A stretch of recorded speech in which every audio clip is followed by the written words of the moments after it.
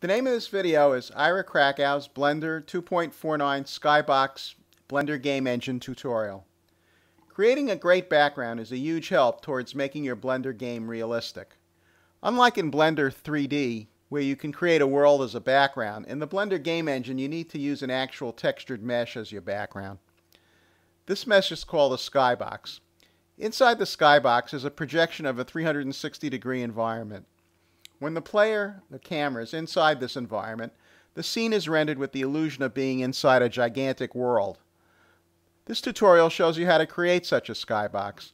It's based on the Build a Skybox tutorial at tutorialsforblender3d.com. We will also animate the camera inside the Blender game engine so that we can tour our imaginary skybox world. To start, we need to find images for both the sky above and the ground below. The images are found both on the tutorial page and on my page for this tutorial at my Blender 3D forum, forum.irakrakow.com.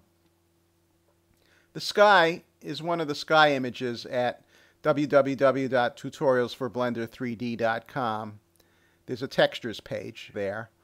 And these skies are especially designed to wrap around the insides of the cube, perpendicular to the ground. The ground texture is a wood JPEG image, one of the blender.org Creative Commons wood textures. So start with the default cube. This is going to be our skybox. Switch to front view, numpad 1.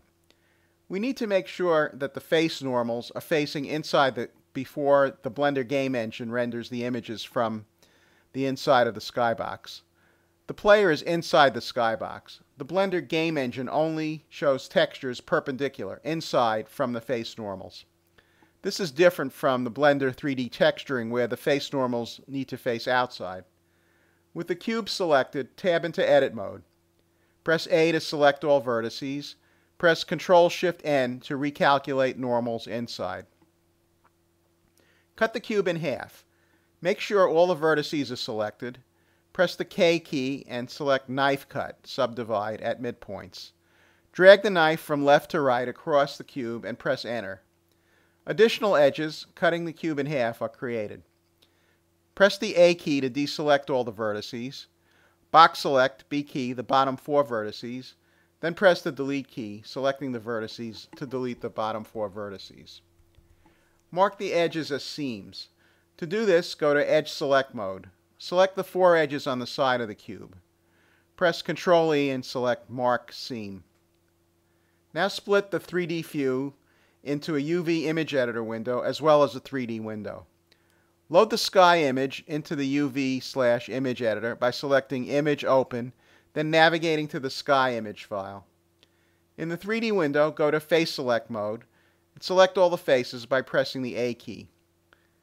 Make sure you're in front view by pressing numpad 1. Press the U key and press unwrap.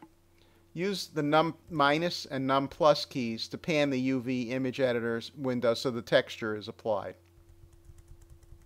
Go into textured mode. Scale the cube up so that the camera and the ground are inside of it. Press P to run the game engine. And press escape to get out of the game engine.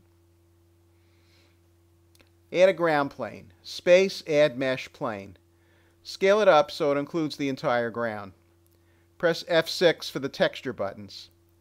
Select the first texture channel and choose Image, Load Image, and select the texture image for the ground plane. Now add an icosphere. Space, add mesh icosphere, accepting the defaults. Press the Edit buttons, F9, then smooth the icosphere by pressing the Set Smooth buttons. Move it up in the Z direction so that we can fall realistically onto the ground. The ground plane serves as an obstacle. Press the logic buttons, F4. Enable rigid body physics and make sure the actor button is pressed. This way the icosphere will be affected by the Blender Game Engine's bullet physics engine. Press P to start the game engine. Note that the ball falls to the ground, but it's elongated. This is due to the camera being in perspective mode. Press Escape to stop the game engine.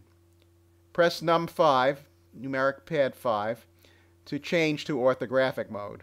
And press the P key to start the game engine. Now the ball stays round and falls without distorting itself. I hope this gives you a start on building a skybox and having it look realistic in the Blender game engine. If you like this video, be sure to hit the YouTube subscribe button. You can also discuss this video and my other Blender videos at forum.irakrakow.com. Happy blendering!